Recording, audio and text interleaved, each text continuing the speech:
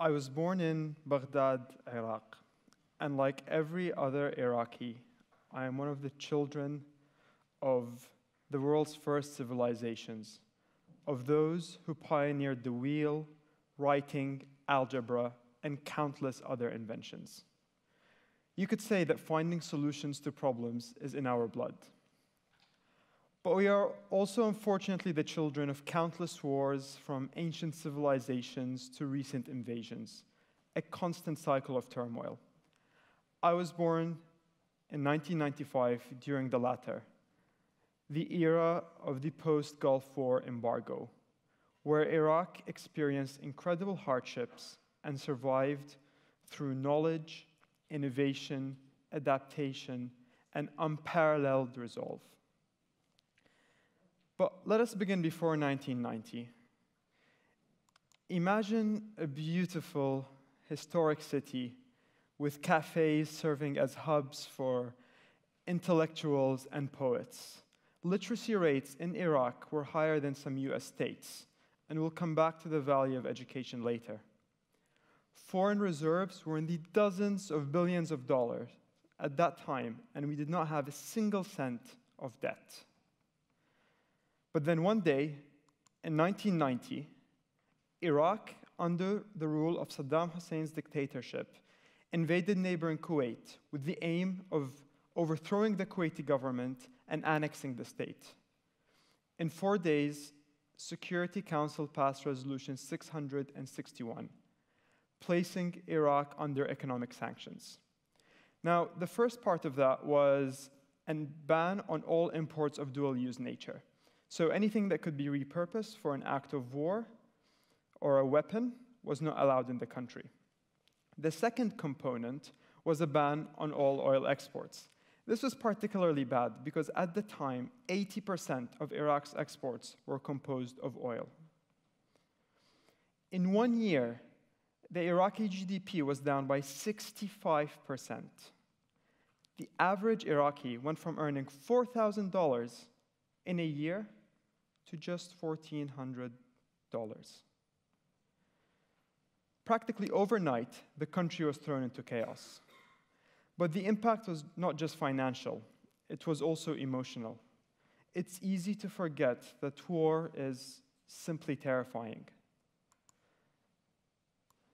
This is a picture of the so called Highway of Death, the road that Iraqi forces used when they were forced to hastily retreat from Kuwait. My father was stationed in Kuwait at the time. He was a medical officer helping treating the wounded. When Iraq retreated, he was fortunate to be on a bus transport. Many weren't. He recalls escaping during the night under the cover of airstrikes. And he and his team of doctors on the bus could see Iraqi soldiers dying by the side of the road. Some were running for their lives, others incapacitated. And the thing is that they had the resources and training on that bus to help these falling soldiers.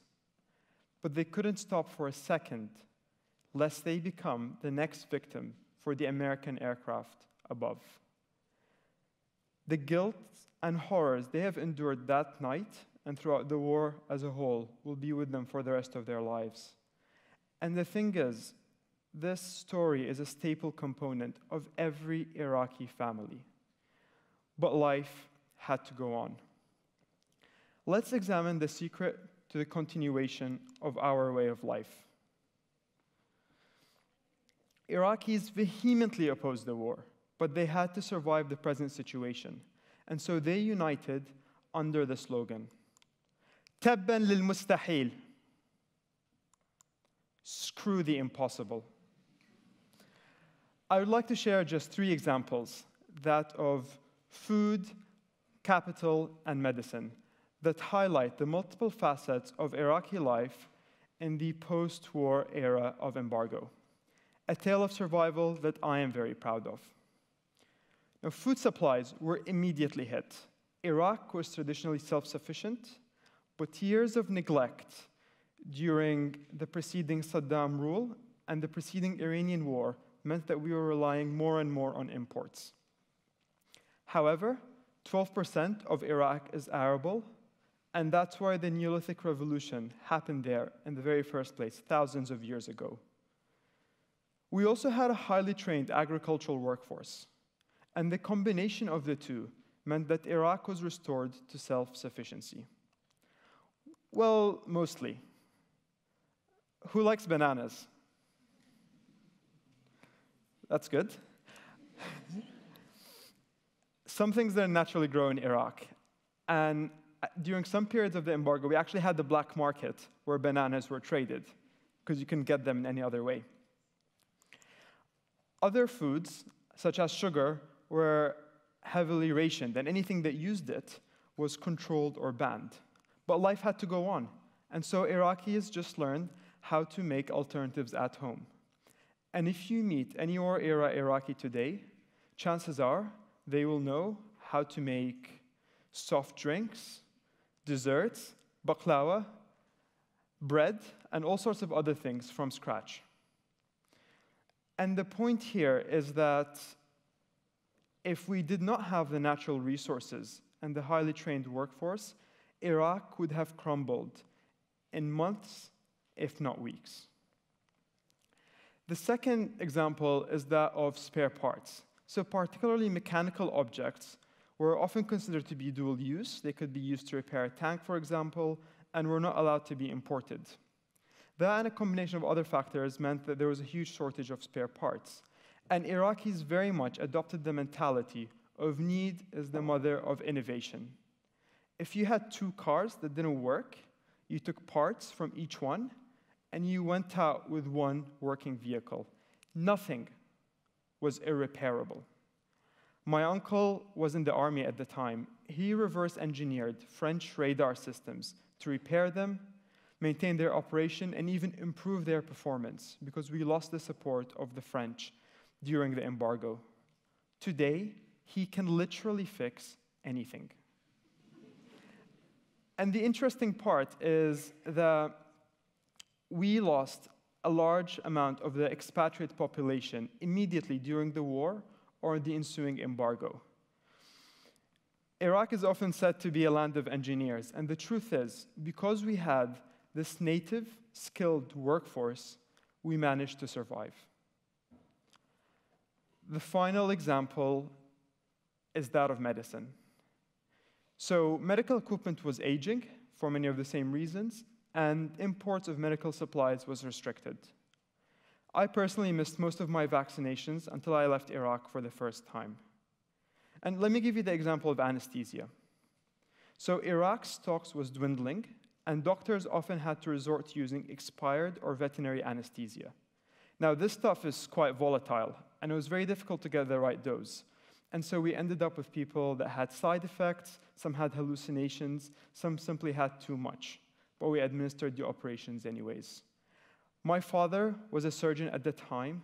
He and thousands of other doctors worked very hard to modify their training adapt their procedures to work with available resources in order to provide this country with the medical care it needed against all odds.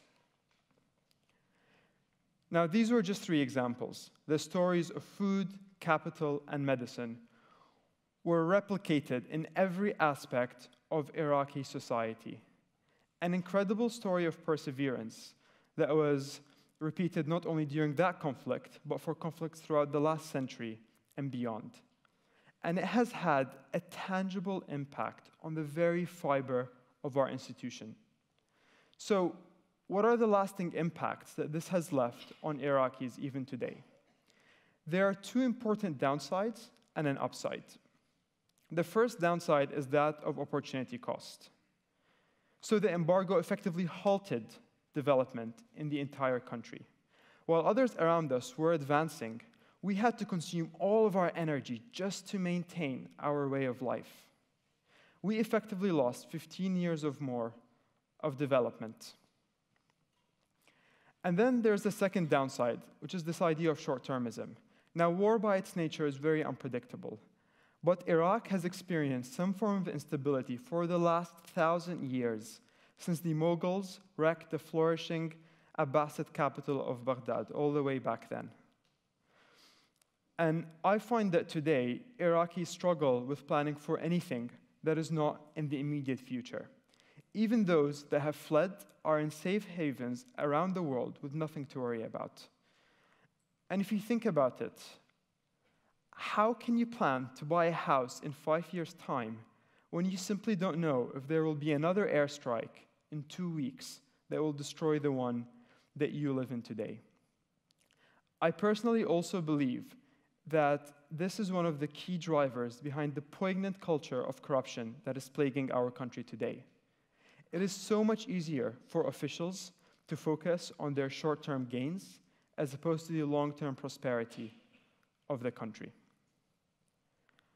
But with the downsides come an upside, and that is that Iraqis today are desensitized in a good way, they're very durable, and they are not phased by anything. I personally escaped most of the hardship, but I still experienced this in my personality. I have this memory at a very young age where my mom hid me behind a curtain to show me low passing fighter jets during an airstrike. And this sounds terrifying, but the reality was that it was normal to any contemporary Iraqi childhood. And for all Iraqis, whether it's a natural disaster, a financial crisis, a trade embargo, or yet another war, they have seen it all before. There is nothing new. They put their head down and they do what they have to in order to survive. While preparing this talk, I received a lot of feedback that I was delivering it in a tone that was very relaxed in context and perhaps emotionless in context of everything that I was talking about. And this was a huge point of self reflection for me because I realized that I also had a lot of impact on myself from this phenomenon. This has all become very normal and part of a reality to me. And so we've talked about the story of survival of Iraq and the embargo. We talked about some of the downsides of opportunity cost and short termism. And we also talked about the upside of sheer durability. What are the key takeaways for me? I've been incredibly fortunate to have been born in Iraq and grown up in my beautiful country, but I left before the latest string of violence. And so I do not hold any resentment towards my country damaging my future anyway or not giving me access to opportunities. I was actually very fortunate to live and learn abroad and in the West. So, in a sense, I have the connection to home. I have no negative feelings towards it. And I also have many of the right tools that are required to support my country. And so I know that no matter what path my career takes me in the future, it has to end with Iraq. And I also know that me and others like me have a responsibility because of our position to inspire others around the world from the Iraqi diaspora to go back and take an active part in rebuilding this beautiful country that is the cradle of civilization. Thank you.